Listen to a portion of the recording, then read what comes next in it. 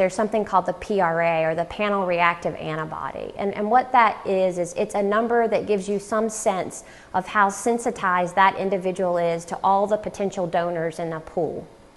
So, for example, if you take one of our patients that was involved in the swap, that individual's PRA was 99%. So, a, a, good rule of thumb for the ability to find a match is something called the transplantability index, if you will.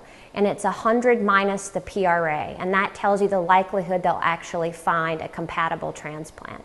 So she had a 1% or less chance of actually finding a compatible transplant, either by waiting on the deceased donor list or continuing to bring in living donors. So the likelihood of her finding a compatible match was extremely small. And in fact, most patients with PRAs that high will spend the rest of their lives on dialysis and most likely will never find a match.